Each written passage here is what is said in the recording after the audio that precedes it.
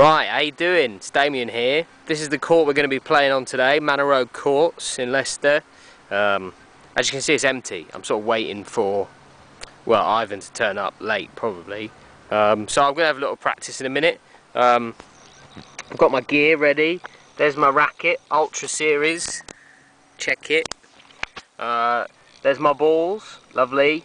My water to keep me hydrated, and my little snack for afterwards. Also, my bag says boxing champ. Well, it, it really means tennis champ, but I am a champ anyway. Um, so look, courts are empty, should be a nice game of tennis, and we're going to start in a little bit, alright? Nice.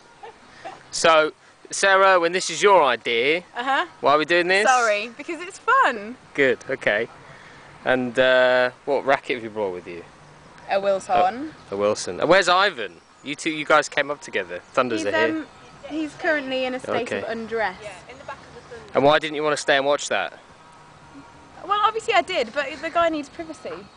We tried to get. Yeah, what are the? Can you bleach stuff? Yeah. What are the? What are the? What are the freaking rules?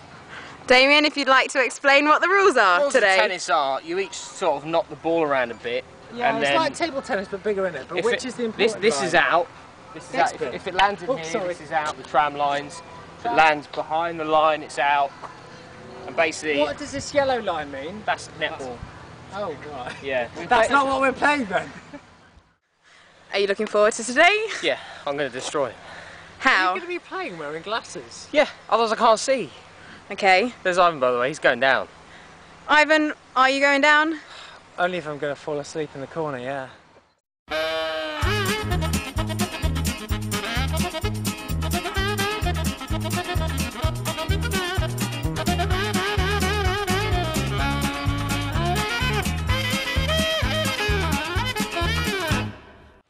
Final words, thoughts on the game? It's the face of a winner.